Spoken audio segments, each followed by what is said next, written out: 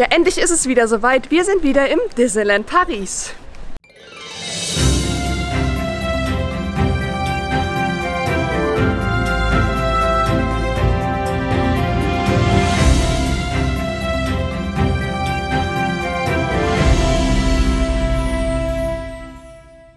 Hallo meine Lieben und schön, dass ihr wieder eingeschaltet habt zu einem weiteren Vlog hier aus dem Disneyland Paris. Ihr seht, wir haben wieder super Glück mit dem Wetter. Heute werden es 26 Grad strahlender Sonnenschein und heute ist ja eigentlich die Pride. Aber in dem Vlog seht ihr nicht zur Pride. Das äh, separiere ich ein bisschen. Wir sind jetzt, es ist knapp 10 Uhr. Wir schlendern jetzt mit Brina und Nina in den Park. Der Daniel ist heute auch dabei, da freue ich mich sehr. Wir haben ihn lange nicht mehr gesehen. Also ich habe ihn bei ähm, hier Disney in Concert ja gesehen. Aber im Disneyland waren wir zu lang, äh, lange nicht mehr zusammen. Und ja, es ist natürlich wieder super voll. Parkplatz ist voll, super viele Leute, aber das ist nichts Neues. Das wird sich wahrscheinlich auch nicht in den nächsten Wochen und Monaten ändern, weil es ist aber ein großer Ansturm zum 30. Geburtstag und wenn jetzt der Avengers Campus nächsten Monat aufmacht, dann erst recht. Ja, wir schlendern jetzt erstmal in die Studios. Wir wollen uns erstmal das neue Merch für die Pride anschauen und äh, dann schauen wir mal. Fotos, shoppen, irgendwas essen müssen wir heute auch noch und dann ziehen wir uns heute Nachmittag nochmal um für die Pride. Ich habe übrigens heute schon das neue Merchandise ein von der Retro Euro Disney Kollektion, die Ohren. Das T-Shirt, den Jersey habe ich auch dabei für Fotos, aber es ist viel zu warm, um den jetzt anzuziehen. Wir freuen uns auf einen schönen Tag. Ja, wir haben jetzt die Studios tatsächlich wieder verlassen. Ähm, wir haben das Pride-Merch äh, gesehen. Das Pride-Merch findet ihr aber in dem Pride-Video. Äh, Zeige ich euch jetzt hier nicht, aber wir haben noch jemand anderen gefunden. Ich war einfach hier. Er war einfach hier, er ist immer hier. Er hat Ich schön habe auf uns. heute Morgen. Ich wollte eigentlich zur Arbeit. Wir haben uns ja lange nicht mehr gesehen hier im Park. Stimmt, ja. Wir haben uns schon vermisst. Vielen Dank. Und- Aber du warst auch nur einmal zwischendrin da. Ja, aber ohne dich. Ja, das stimmt. Es ist immer schöner mit Daniel. Wir haben schon viel gelacht. Ja, das stimmt. Der Tag hat erst angefangen. Der Tag hat es angefangen. Ja, also wie gesagt, wir haben uns das Pride-Merch angeschaut. Ich habe ein bisschen äh, was für das andere Merch-Video abgefilmt, was es aktuell vom 30er-Jahre-Merch gibt. Jetzt gehen wir rüber, gucken, ob es die Retro-Kollektion noch im, im Floras Boutique gibt und was es sonst so gibt. Und dann gucken wir mal, was wir heute essen. Und lassen bis Nachmittag gleich den Tag relativ entspannt angehen. Ja, ihr seht, wir sind jetzt hier noch nicht so nah dran, aber ihr seht, Mickey wurde in den Pride-Farben ge Farben gepflanzt. Drumherum, die Fontäne ist natürlich gerade mitten im Weg, aber wir gehen später mal vielleicht noch näher dran. Aber sieht richtig schön aus.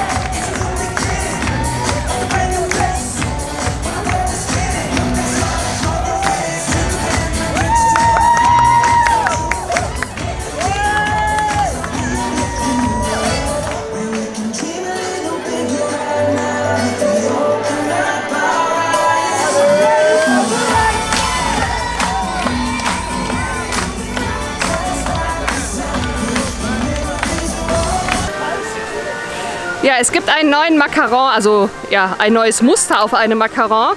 Und zwar zum 30. Geburtstag. Es kostet nur 2,20 Euro und es gibt auch noch Rabatt. Also das ist wirklich der Knaller, es ist ein Schnapper, holt euch den. Wir haben uns den jetzt nur geholt für Foto und dass wir den euch auch mal zeigen können. Wie er schmeckt, das testen wir jetzt. Sonst könnte es das verbotene Lied. Schmeckt? Schmeckt? Geht für 2,20 Euro. Vorsicht. Warte.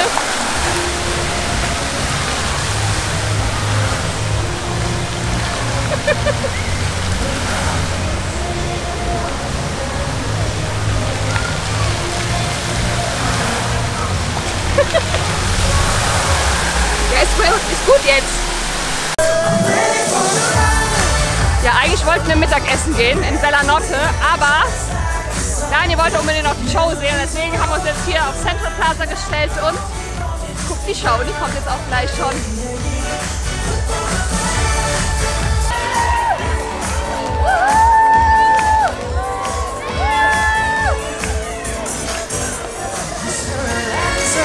show too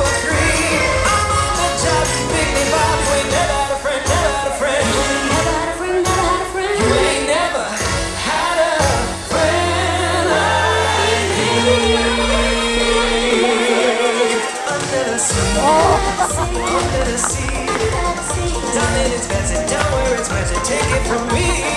Up on shoulder in the sunless away. I needed more time to float under the sea. Away, far away.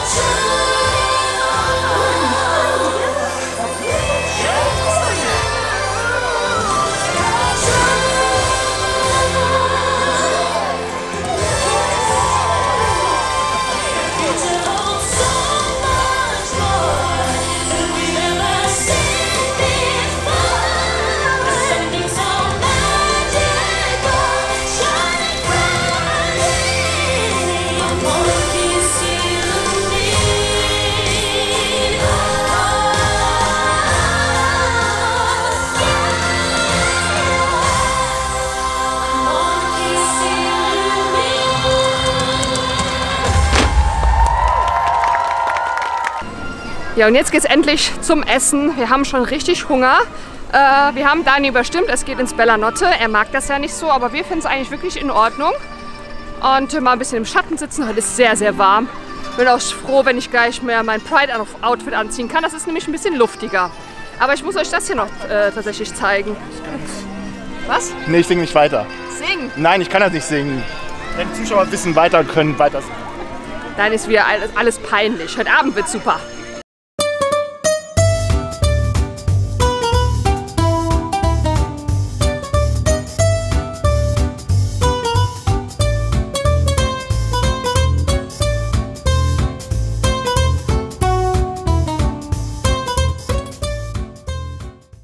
Ja, wir haben unser Essen bekommen. Ich habe Menü 4. Das sind die Spaghetti mit Fleischbällchen. Einmal Tiramisu, Cola und Knoblauchbrot für 17 Euro ohne Rabatt. Brina hat die Käsenudeln für äh, Menü 1. Ja, ganz lecker. Also mir schmeckt es hier immer ganz gut. So, let's go.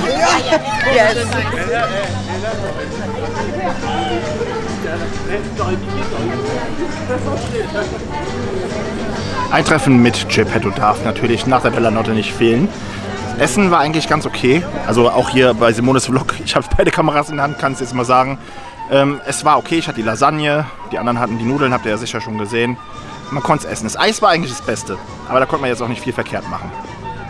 So, wer ist zuerst dran? Prina? Nee. Zuerst Simone. Natürlich. Eine Umarmung.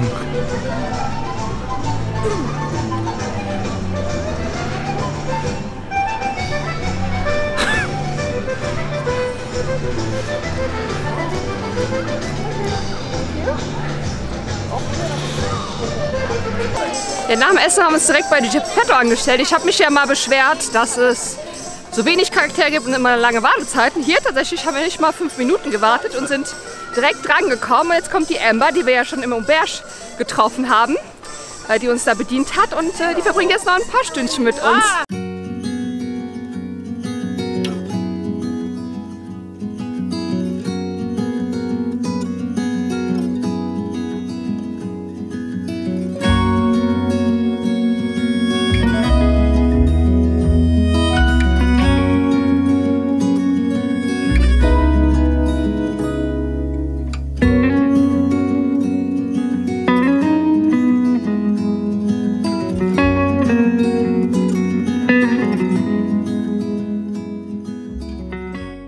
Ja, also Amber ist gerade bei uns. Ähm, die warten kurz, aber wir gehen gerade mit Nina zum Pin Trading Shop, um da was nachzugucken. Äh, kurze Wartezeit. Big Thunder Mountain hat gerade 14 Uhr äh, 60 Minuten Wartezeit. Ja, ansonsten gibt es gar nicht so viel zu erzählen. Wir müssen uns demnächst umziehen gehen, müssen noch Fotos machen. Wir haben noch gar keine Fotos gemacht. Das ist gar nicht äh, üblich bei uns. Aber als wir reingekommen sind, ich finde das finde, dass wenn die Sonne so um 12 Uhr hoch steht, äh, gibt es auch keine schönen Bilder. Dann Schatten im Gesicht und so. Die beste Zeit für Bilder ist tatsächlich morgens, aber da waren wir noch nicht hier und wir sind zuerst in die Studios und Shopping etc. Und morgen kommen wir wahrscheinlich auch nicht so früh, weil wird halt lang der Abend. So, wir sind jetzt hier kurz beim Pin Trading Shop und äh, ja, hier gibt es diese Klopferhülle. Kostet 10 Euro. Dieses Pin Set zum 30. gibt es hier auch. Kostet 39. Peter Pan Pins. Kann ich euch mal kurz zeigen.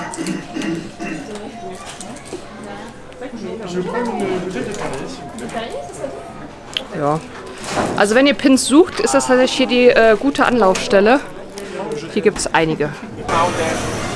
So, bevor ich es wieder vergesse, zeige ich euch jetzt noch mein Outfit of the Day. Es ist schon ein bisschen warm fürs Outfit, aber es gibt die neuen Retro-Ohren. Das Coole ist, es steht da 1992 drauf und ich habe ja Geburtstag. Oder ich bin geboren im Jahr 1992, das ist richtig cool. Passt dazu das T-Shirt, da steht auch 1992 drauf. Den Rock habe ich mir von zu Hause mitgebracht, das ist einfach von About You. Und so ein bisschen retromäßig mit der Tasche von Primark, der Brille und die Adidas-Schuhe sind eigentlich auch so ein bisschen retromäßig, so rot-blau-mäßig. Aber ich finde die neue Kollektion richtig cool, vor allem weil da mein Geburtsjahr draufsteht. Ja, wir haben uns doch dazu entschieden, noch eine Attraktion zu fahren heute, und zwar Big Thunder Mountain. Denn es ist ja schon wup, wup, relativ warm und wir brauchen so eine kleine frische Brise. Und ich muss wach werden wieder. Und Daniel muss wieder wach werden, der ist ja schon gefühlt seit 4 Uhr wach. Ja, Halb mein- vier. Halb vier. Freust du dich? Ja, ich freue mich. Ich habe meine Ohren schon ausgezogen. Ich nehme euch natürlich mit auf der wilden Fahrt. Wildest Ride in the Wilderness. The wildest ride in the world.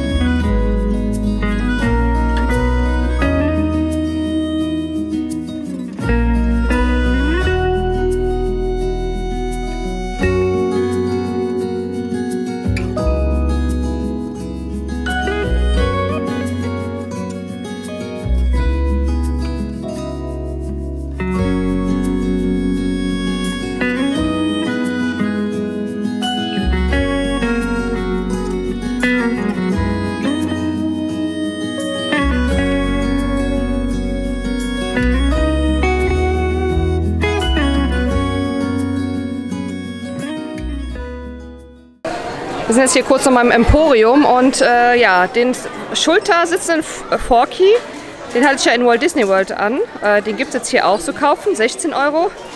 Es gibt auch Groot. Es gab auch mal Baby Yoda, den gibt es aber wohl gerade nicht mehr. Und seit neuestem gibt es Tinkerbell. Aber ich muss sagen, die gefällt mir überhaupt nicht. Dieser dicke, ovale Kopf. Nee, geht gar nicht. Kostet aber, glaube ich, auch 16 Euro. Eine Sekunde. Ja. Und es gab auch mal Woody, habe ich auf Instagram oder so gesehen, aber den habe ich jetzt auch noch nicht gesehen. Es gibt auch neue Ohren, die ich tatsächlich erst äh, das nur hier gesehen habe, in dem Shop, in dem Ribbon, irgendwas Shop. Da, wo ihr ähm, gegenüber von Floras Boutique, an der Ecke, da wo ihr in der Nähe, wo ihr auch die Rollstühle und so ausleihen könnt. Genau, gibt es hier für 23 Euro. Und die sind tatsächlich aus Amerika, die habe ich da zum ersten Mal gesehen. Sind schon richtig schön, muss ich sagen. Gefallen mir echt gut.